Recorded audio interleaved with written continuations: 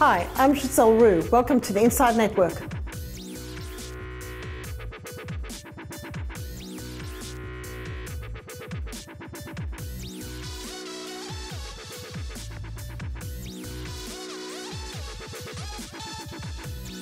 Welcome to the Inside Network. Today I'm joined by Jasmina Osmanovic from Potentum Partners, a new private equity uh, group, and with the founding members having come out of the Future Fund.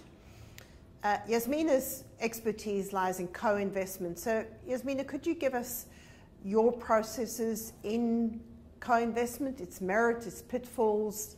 Uh, give us a bit of a description of the asset segment.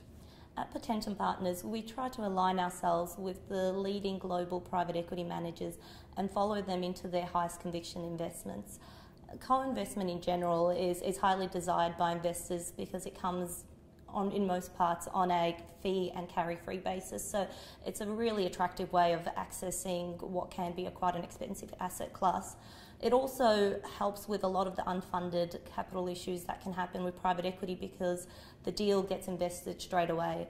Um, as, a, as a limited partner, being involved in a co investment also enables you to do better diligence on a manager because you're actually involved in the deal, get to see how they think about things and, and how they work real time.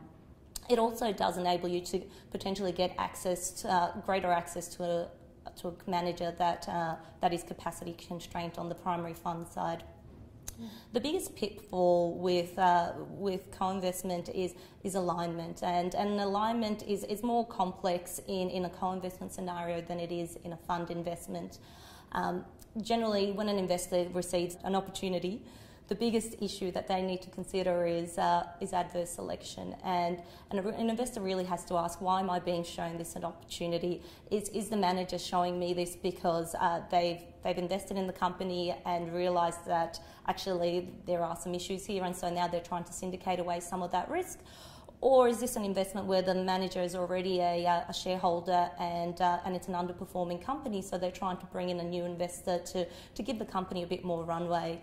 And so it's really important that uh, you you have strong relationships with these um, with these managers that are showing you these deals, and and you're primary uh, you're an investor in their primary funds as well, such that they're less inclined to, to show you an unfavourable deal because they don't want to do anything that could damage that relationship. Mm, fascinating. Uh, do certain companies or sectors or structures lend themselves more to co-investment than others? So, you know, how, how broad is the opportunity set? Well, generally, co-investments are, are, made available to, to investors when the, the equity required for the company is greater than what the fund has capacity to do, which you know, ordinarily lends itself to, to larger businesses on the buyout side or very capital-intensive businesses in venture realistically, uh, co-investments available in, in all sectors.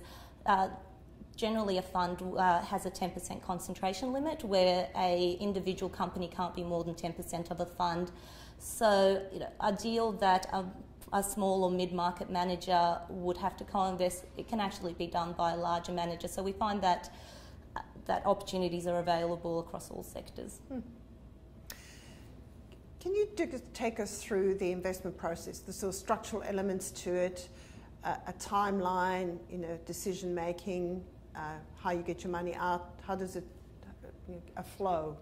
So on the buyout side, there's there's generally two two avenues uh, that uh, that a manager takes. It it can either be co-underwriting, where a a investor's bought in very early during the diligence process, and and they work alongside the the manager to develop an underwriting case. And in the event that the deal doesn't happen, they will also share in the broken fee, uh, broken deal cost. The, the other way is post deal syndication, where a manager will close on a deal and then subsequent to that, send, um, go out to its investors and offer them an opportunity to, to take a portion of their of their investment. Um, generally, with those, there's a pre pre prepared data room with all the information that they've uh, gathered during their own diligence process, and that gets sent to investors. And they might have a three to four week period where they can make a decision on whether they are willing to accept uh, accept the deal as it is or not. Uh, in both those situations, the, the manager is generally the, the person who has control of both the company and the and the investments. So the co-investors are generally tied up to the exit mechanisms that the the manager takes. Okay. On the post syndication side, um, a manager will often set up a vehicle specifically for co-investors. And so the investors are even more bound by the, the terms of that vehicle and have more limited scope to actually sell down their position before a manager decides to do so.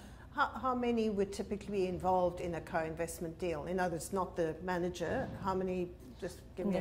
I guess it depends on the size of the deal um, and the size of the, the LPs that are involved. So large sovereign funds or institutions can write you know multi-hundred million dollar checks and some managers prefer to just work with one large party, especially on the co-underwriting side, where we've seen um, they go to a large sovereign wealth fund and they are the only co-investors in the process, and they get involved very early and it becomes effectively a, a consortium between the two of them. On the syndication side, they generally try to bring in a lot of investors because, um, you know, given that they're on a fee and carry-free basis, a lot of investors want access to these sort of opportunities, so they don't want to be seen to be cherry picking one LP versus another. So on the syndication side, we find that it goes quite broad, and some of the checks can be quite small, where individual investors are investing five million, and some others are putting in a hundred. Can you give us some colour about the level of cooperation and competition, both between the co-investments and the co-investment syndicators and the, the manager? You know, how do you actually deal with that? So alignment um, is key in this stuff, and um, and the, this really plays out when a situation is distressed. Um, a really good example is when um, when a company has no residual value left. Uh, it's much easier for the manager to walk away and just focus their attention on some other investments that they've got in their portfolio. So, what's really important is ensuring that the manager you're backing to do this investment has a reputational interest in ensuring that this deal is a success because they've built a reputation on being able to be best in class in this particular strategy or this particular sector. And you also really need to ensure that the general partner that is working on this deal has its, their personal track record as well as their carried interests at stake, such that they're really incentivized to try and regain as much value as they can in this investment. Uh, the, the competition also shows up in, uh, in having to do follow on investments. So, what we find is in, in a distressed opportunity where investors need to pour in more, more money into a business, there can be quite um, some tension between the manager who has much better access to information, has been on the board, has been having active control of the business, versus versus the co-investors who are passive investors and get might get quarterly reports and and you need to be really careful that the manager has the best interests of both the co-investors and the fund in mind and they're not going to make a decision that will disadvantage the co-investors. The, the other situation where we find that competition and, um, and issues can arise quite a common is in venture co-investment. In venture co-investment, the manager is most likely already an investor in the company. And so it's really important uh, to get comfortable that this is an opportunity that they have high conviction in. And they're not just being uh, you're not they're not just going out to their co-investors to try and get some more capital to give the business a more runway. So what's really important in those opportunities is is seeing a manager really leaning in and putting more than its pro rata in the next financing round to to really highlight their conviction in the opportunity what um, Again, is there a typical number about the proportion of the business that's held within the manager versus the co-investor group, or not necessarily? Um, so you know, the most concentrations limits will prevent uh, more than ten percent of a fund being in any individual company. So, so that dictates um, the size of the equity check that the fund can do. But realistically, there's no limit. It's just the manager will want to control, to maintain control of the investment and generally, even in a syndicated deal where there's a special vehicle set up, there are provisions in those vehicles that would enable a, a manager to be removed for cause and sometimes for um, not for cause. So they'd probably not want to sell down more than 50% of their equity to continue to maintain that control. Can you just take us through some of the way the valuations work in the industry? Are they always leaning on equity like valuations or are there other valuation techniques that you are using? I think it depends on the sector. So um, in venture capital, it's you know valuation is, is a lot more difficult, and so it relies a lot on revenue multiples, which are forward looking and a lot of the time very hard to verify um, the viability of those forecasts. And, and in venture, we find that uh, you know there's a lot of scope to um, for valuations to be very very driven by investor sentiment. So there are a lot of sectors or companies that can become hot where there, there's a lot of demand for investors to get into those businesses because it's seen as a market quality by being an investor in something that's very hot at the moment. And so in those sort of sectors, we just find that valuations can just become extreme and completely not justified on a fundamental basis. On the buyout side, it is generally a more um, traditional DCF, you're looking at the future value of cash flows and, and factoring in what comparables are doing generally on an EBITDA, EBITDA basis. Uh, but, but what we're finding is in this current environment, investors are really seeking out growth. And, and any business or any sector that's growing at a rate that's larger than uh, the market average is, is trading at a significant uh, premium. Um, ESG has found its way into private equity as well. What observations can you give us about the way that's discussed in, in private equity circles? Governance has always been a big issue from a private equity perspective, but we're really starting to see managers put more focus on the other factors as well, and in particular, social issues.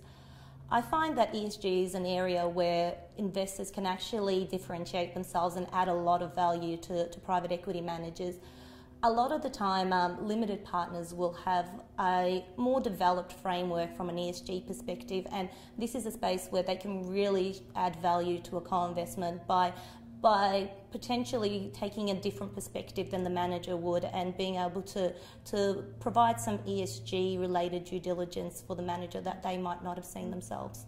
Hmm, interesting.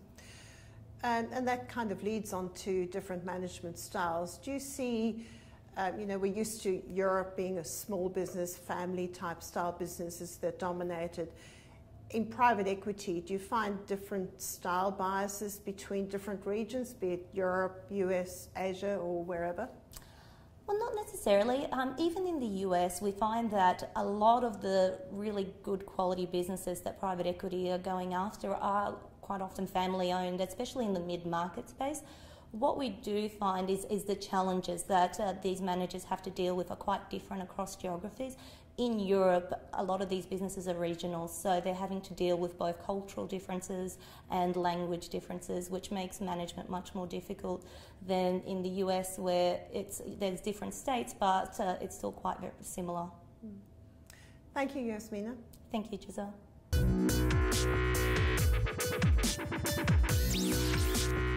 We'll be right back.